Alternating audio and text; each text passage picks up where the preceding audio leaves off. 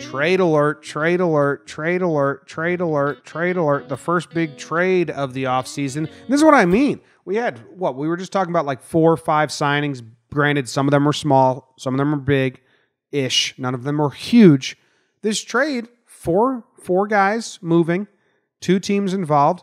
It's not huge, but it's such a nice appetizer trade for this offseason. I'm a fan of it. And if you haven't heard what happened, the Padres and Brewers have broken open the trade market. They swap a bunch of young players. So the the Brewers traded Trent Grisham and righty Zach Davies to San Diego, and the Padres are re- giving them Luis Urias and Eric Lauer in return.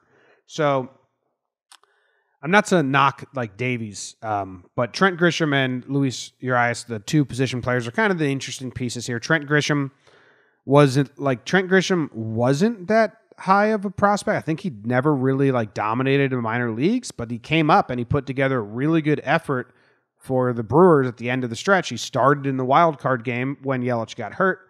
Um, and Luis Urias is kind of the opposite. He is fantastic AAA numbers now he's got very, very, very small plate appearances, like 300 in the, in majors in the majors, and they're not great.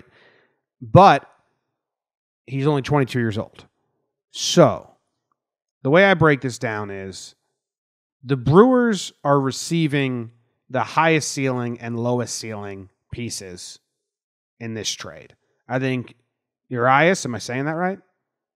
Yeah. I think he's the highest ceiling and I think Eric. Urias. What is it? Urias. Urias. Urias is the highest ceiling. Eric Lauer is probably the most like, bleh.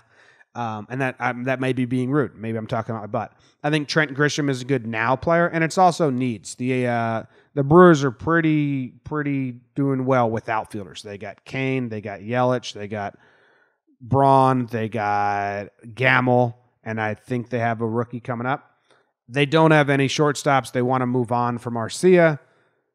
They're going to put Urias at shortstop, Jake, which is a big gamble. That's where I think now he grades out better as a second baseman. So now you're taking this dude, 22 year old, high ceiling, and you're going to just plug him in as your shortstop, and he hasn't proven it with the bat yet. There's a lot of risk here. There's a lot of reward.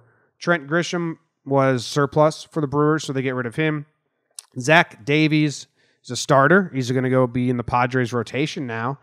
Uh, he's kind of like an average starter. Maybe they can tap anything. But the interesting is Eric Lauer. He fits the Brewers mold as a thrower. Like they're gonna they get a guy now that they can just use wherever they want, which is what they want. So those are my initial thoughts, I guess. What are your thoughts on this? Yeah, I'll I'll I'll stay with the pitchers for now. I I think when you when you lay everything out there on paper, uh, I mean it. Davies is better than Lauer. Um, yeah, Davies has a cup. Davies has three seasons with 28 plus starts, whereas ERA is under four.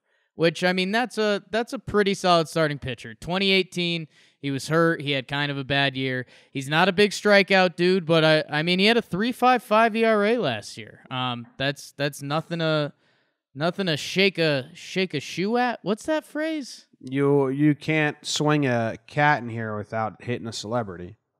Yeah, you can't swing a cat at Zach Davies without him having a, an okay year last year.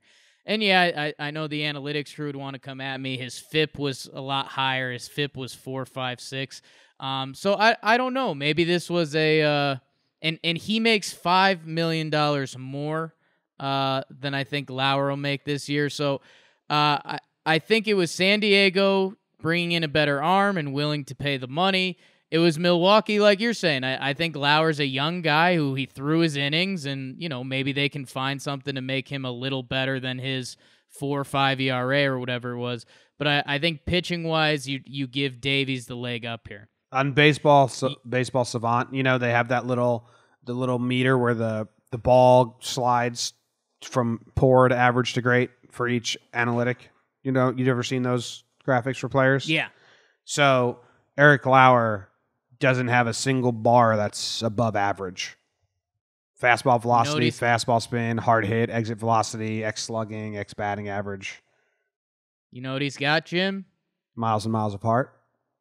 He's a lefty that can throw innings, babe. Yeah. Um, That's a that's a that that's a language that always speaks in this sport. What do you got on the Um, position players? Because I think those are the more interesting topics here. That's where this does get really fun because I know, like you said, no offense to Davies and Lauer, but you don't see those guys, you know, necessarily game two of the of the NLDS uh, going out and shutting seventh shutout. Prove me wrong, guys. I'm I'm more than open to that. The the Urias Grisham thing is interesting. So Grisham used to be kind of a top 100 prospect. He had a couple tough years in the minor leagues. Then he turned it on. He gets the call up when when Brawny goes down, and they throw him at the top of their lineup for this playoffs run. Which, uh, again, how how different does this playoff look? That's the other part that sucks here. Like I I was so excited for the Grisham redemption story in Milwaukee, and now they've traded him away. He's going to be hated in Milwaukee forever. I think they'll clap when he gets back and they'll apologize. They're they're nice Midwestern people. Yeah, in the first inning, after the after the fourth, after a couple brouhahas, I think they'll do it. But you're right, and you were all over it, Jim. The the big thing here is Urias playing shortstop. Um, Tatis and Machado are on the left side um, for the Padres, so that was pretty well locked up. And I, I think the question mark is because he does have a really good hit tool in the minor leagues. He's hit over 300. Um, he's he's expected to hit. He's only played 83 games. The numbers aren't good, but he's like you mentioned, 22, very young. Um, it's gonna be can he play shortstop, and I, I think that's where the Brewers are taking a chance, and they clearly believe that. Um, he's a li- he's listed at five nine. Uh, that's that's a, a little smaller than you'd like to to see your shortstop, I think. But hey, I, I like it for the Brewers. You're taking a chance, and I mean, what's what's the worst case that you you maybe you have to slide him over to third base or something like that? I I think. I, I don't know. It may, maybe this is a mental thing that I need to get over, but it feels like if you have a an infielder that can hit, that's still slightly more valuable than an outfielder that can hit a little bit. I don't know. Um, I I would be very interested to see how this these trade discussions go down because you're right. We normally don't get kind of a when when we see apples for oranges trades in the MLB, normally it's like, all right, well, you're gonna get, you know, this guy, he's 28, you're gonna get him for a year and a half. Hope he does well for you. You give us a prospect, and maybe he pans out, and that's kind of the risk reward. These are two young MLB players that are going to be playing off the rip. Neither have a, accrued a year of service time either. So their like contracts is a, basically an equal swap. You don't Yeah. see that a lot. It's just like need for need or belief for belief. It's interesting. Belief for belief, and that that must have been the scariest part in the trade room was. and this is this is something that you've you've wrote me into a little bit is teams don't trade the prospects they love. Um, you it just doesn't happen. Yep. So if you're if you're San Diego and Milwaukee, I think you're both having kind of a that standoff from the office where it's like, wait, you're okay trading Urias? Well, you're okay trade you're okay trading Grisham, right? I, re- I, re- kinda I- like- yeah, I read somewhere that neither are like highly thought of within their own organization. so it's just fresh start for both of them. Yeah, good. Ur- Urias crushed AAA last season, just to let you know. 315 batting average, 398, 398, 398 on base percentage in 73 games, 998 OPS. It is the Pacific Coast League. But the on base bro. the on base percentage air doesn't really come into that. Yeah, I mean, th- throughout the minors leagues, he hit 308 with a 397 on base. Um, so it's it's can he pick it at short? And I I think that's the I don't know if it's risk reward, but that's if you're the Brewers, it's like okay, if if you throw Urias out there and he it doesn't look like he's going to be able to pick it at shortstop, all right, then you know what, S- slide him over to second base or third base. Like I, I, I don't think his defensive tools are bad. I, I just think, I, I mean, think about it. If they're willing to give him the shot at their shortstop job, he should be able to pick it at second base where he's played. Um, let's see, he's played the majority of his minor league innings there. Do you? but they've got Hiura there. Yeah. Do you like the Brewers depth chart now? It's kind of good. They got Hiura at second. They're gonna have Arcia or Urias at short. I think Urias. Shaw. They have him as their third baseman. Uh, they they need a shit. They need someone at they, they right now. This has Shaw as their Their third baseman and their first baseman, and they have their backup first baseman as Ryan Braun. So I guess the Brewers need a first baseman.